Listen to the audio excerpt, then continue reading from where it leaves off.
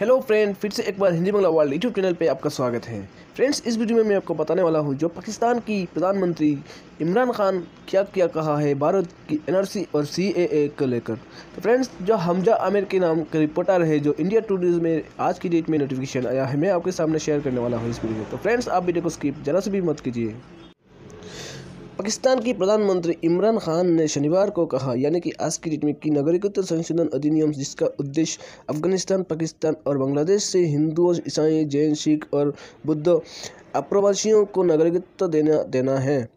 بھارت سرکار نے واستوک ایجنڈا کو اسپوز کرنے ہیں۔ عمران خان نے یہ بھی کہا ہے کہ بھارت میں ایک فاسیبادی جاتیوادی سرکار ہے، جس کے خلاف دیش کے ناگرک سامنے آئے ہیں۔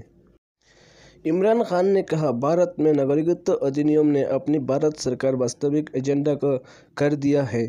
ہم بھارت میں ایک فیسیواتی جاتیوادی سرکار دیکھ رہے ہیں۔ بھارت میں اس جاتیوادی سرکار کے خلاف سکھ، عیسائی اور انیہ الپشنکک سامنے آئے ہیں۔ عمران خان نے یہ بھی دعویٰ کیا کہ ناگرکتا سانسدن ادھینیم سی اے اے کے خلاف بیروت پردرشن سے دھیان ہٹانے کے لیے بھارت ایک جھوٹا جنڈا سنچالت کر سکتا ہے۔ پاکستانی پردھان منتری نے کہا، کشمیر سے شروع ہوا مدعا اب پورے بھارت میں پھیل گیا ہے۔ پاکستان کو لگتا ہے کہ بھارت سرکار کی چل رہے بیرودوں پردرشنوں سے جان ہٹانے کے لیے ایک جھنڈے کا سنچالت کر سکتا ہے۔